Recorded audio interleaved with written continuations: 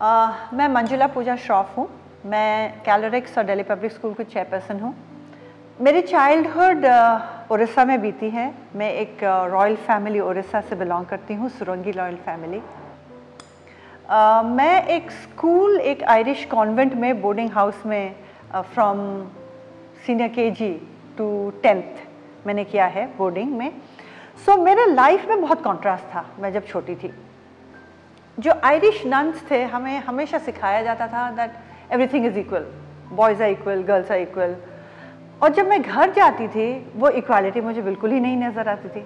मुझे एक दबा दबा सा फीलिंग होता था और मैं और मैं जब देखती थी मेरी मम्मी को, वो पर्दे में रहती थी और एग्जैक्टली exactly वही लाइफ जीती थी जो मुझे लगता था कि मैं आगे चल के यही मेरा फ्यूचर या मेरा डेस्टिनी है। साथ ही मेरी नानी थी।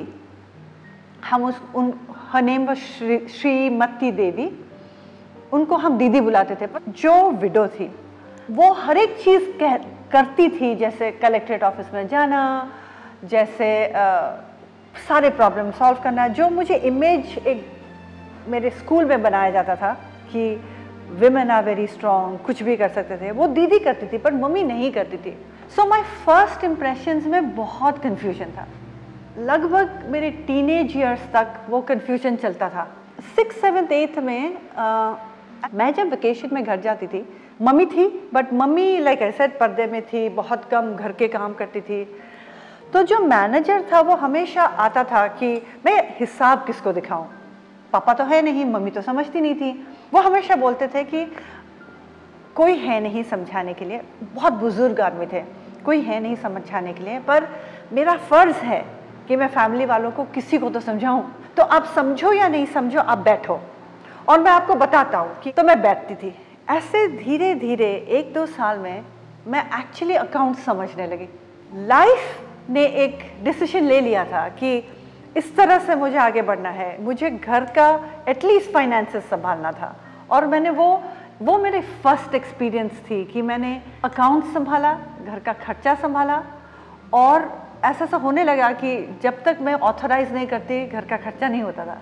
एक जो चीज़ मैंने दीदी के साथ सीखा है, वो आज तक मेरे में है कि मैं भले समझूं या नहीं समझूं बट इनेट इंटेलिजेंस मैंने एक डेवलप किया है कि मैं पाँच सवाल, जो लीडिंग क्वेश्चन है, वह मैं पूछूँगी, जिससे वो मुझे समझाएँ कि आगे क्या करना है।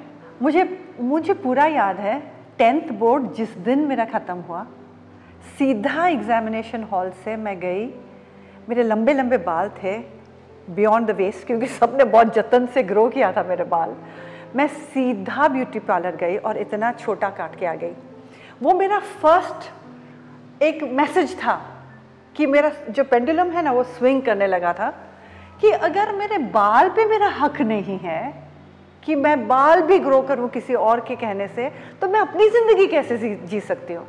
कभी कभी मैं सोचती हूँ कि मुझे क्योंकि एजुकेशन इतनी डिफ़िकल्टी के साथ मिली है। इसीलिए मैं एजुकेशन का महत्व समझती हूँ। इसीलिए आज मैं जब I create institutions like this it is very meaningful